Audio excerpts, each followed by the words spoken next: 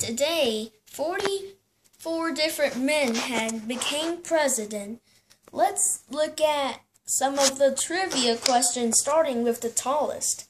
Abraham Lincoln, the 16th president of the United States, was the tallest man ever to be president at 6 feet 4 inches tall. That's 76 inches.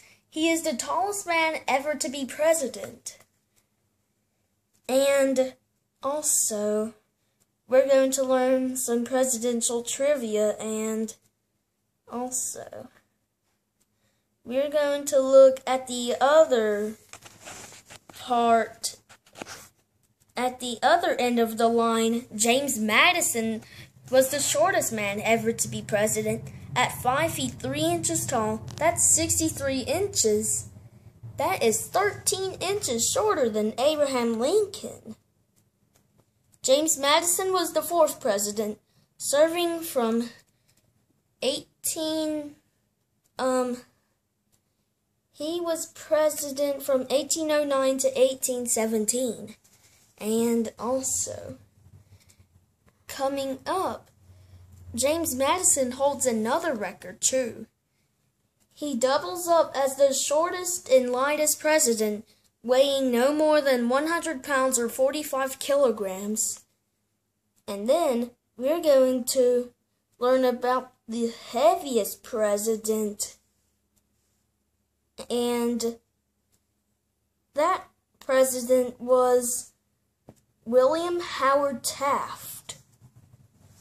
Taft was the 27th president, serving from 1909 to 1913. He weighed 340 pounds. He was so large that he had once got stuck in the bathtub and had to have a larger one installed. He also died in the bathtub. And then, next up is presidential ages. We're going to learn about the youngest elected president, or the youngest man to be president. Theodore Roosevelt became president at the age of 42. However, he was president following an assassination of William McKinley, so Theodore Roosevelt was not elected to his second term, and the record for oldest elected president belongs to someone else.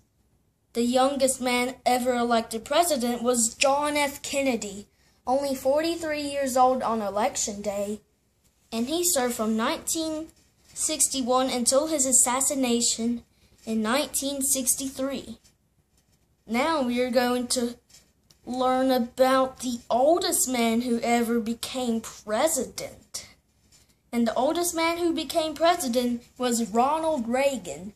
He became president at the age of 69.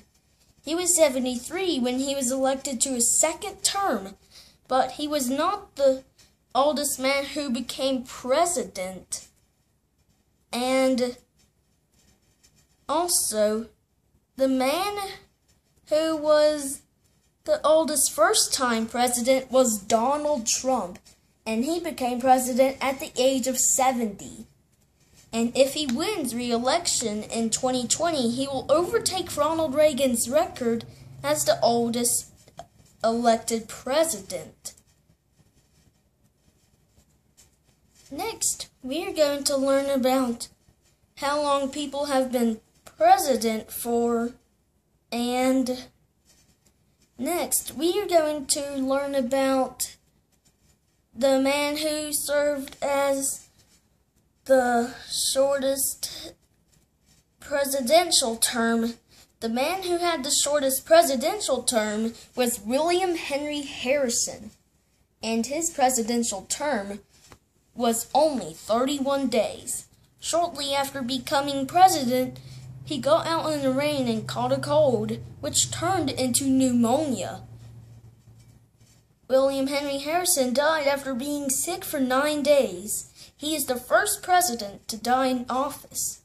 Now we are going to learn about the president who was president for longest, and that was Franklin D. Roosevelt. He was the president for 12 years, and he had won four presidential elections. And that is how George Washington refused to serve a third term in 1796. And Franklin D. Roosevelt was president from 1933 until his death in 1945, only 11 weeks into his fourth term. And also, we're going to learn about the man who was never actually elected president. And also, and that man is Gerald Ford. And this is Gerald Ford. And also, when Richard Nixon resigned in 1974, Ford all automatically became president without ever winning an election, making him the only president never elected into the position. And then we are going to learn about the president everyone voted for. And that was George Washington. He was the president for eight years, and he could have been the president until he died.